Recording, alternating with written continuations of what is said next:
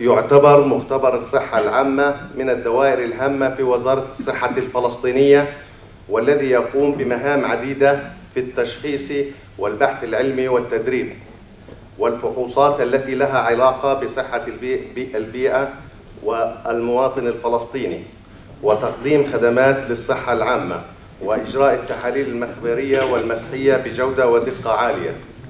كما أن المختبر يقوم بمهام كبيرة تتمحور في المشاركة في تقصي الأمراض المعدية بالتعاون مع الشركاء في الوزارات المختلفة وإجراء الفحوصات التشخيصية العديدة التي تشمل الأمراض الوراثية للأطفال حديثي الولادة وفحوصات طبية متخصصة وفحوصات تختص بسلامة البيئة مثل الأغذية والأدوية والمياه ومواد التجميل والمنظفات الكيميائية.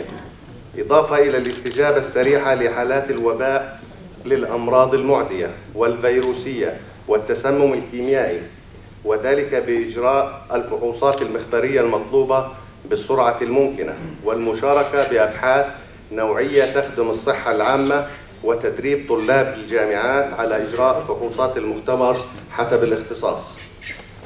والأخوات الأخوة الحضور لقد أنهى مختبر الصحة العامة كافة المتطلبات الإدارية والفنية الخاصة للاعتماد الوطني للفحوصات الطبية بنجاح باهر يؤهله للحصول على شهادة الأيزو والاعتماد الحالية 15189 والتي شملت إعداد دليل نظام الجودة وإعداد طرق العمل الفنية للفحوصات المخبرية التي تم اعتمادها والتي تخضع للرقابة النوعية الخارجية.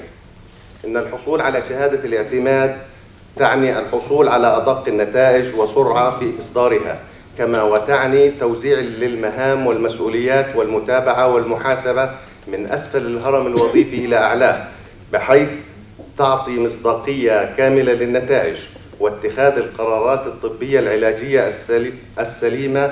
إن حصول مختبر الصحة العامة على أول شهادة اعتماد في مجال الفحوصات الطبية.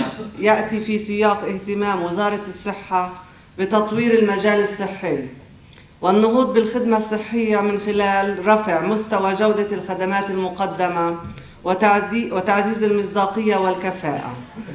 حيث يساهم حصول المختبر على شهادة الاعتماد في رفع جودة وكفاءة التشخيص الطبي خاصة وإن نتائج الفحوصات المخبرية تعد واحدة من أهم المدخلات. إننا في وزارة الاقتصاد الوطني وانطلاقا من حرصنا على صحة وسلامة المستهلك عمدا إلى تبني أحدث الأنظمة في وحدة الاعتماد الفلسطيني التي تؤهلها بالشراكة مع وزارة الصحة ونقابة الطب المخبري وكافة الجهات ذات الصلة. بتقديم خدمة اعتماد مختبرات الفحص الطبي بما يتناسب مع المعايير والمتطلبات الدولية. أبارك لكم هذا الإنجاز الفلسطيني وأعبر عن شكري لكافة من ساهم في إنجاح وإتمام هذا العمل.